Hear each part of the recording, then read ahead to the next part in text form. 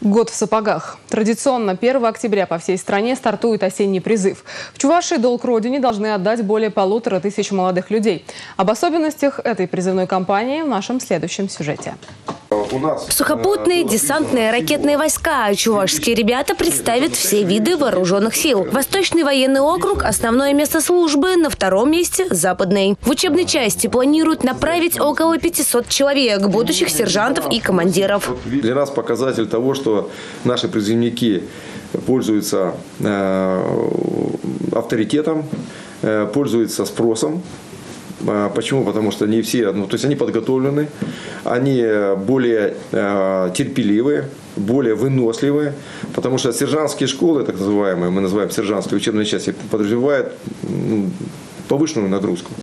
Службу по контракту выбирают все больше человек. Между тем, в этом году повестки не смогли вручить почти двум тысячам человек. Причем полторы тысячи прописаны в Чебоксарах. Таким уклонистам по достижении 27 лет выдают не военный билет, а справку. Им запрещено работать в государственных и муниципальных органах, а также в силовых структурах. Тех, кто получил повестку, но не дошел до военкомата, наказывают по всей строгости закона, вплоть до тюремного заключения. В целом, за прошлый год у нас было 56 человек, таких уклонистов, которые были оповещены и не прибыли.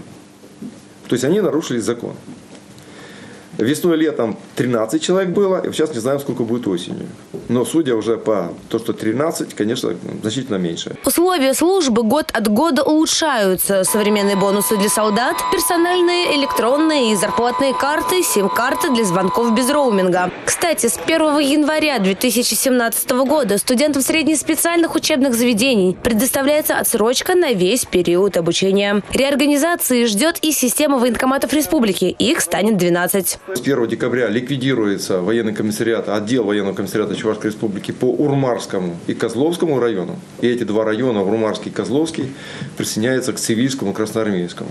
С центром в Цивильске. Накануне старта осеннего призыва проходят инструкторско-методические сборы с участием председателей призывных комиссий и силовых структур, военных комиссаров, медицинских работников. По итогам собрания обозначат пути решения существующих проблем и наметят курс дальнейшей работы.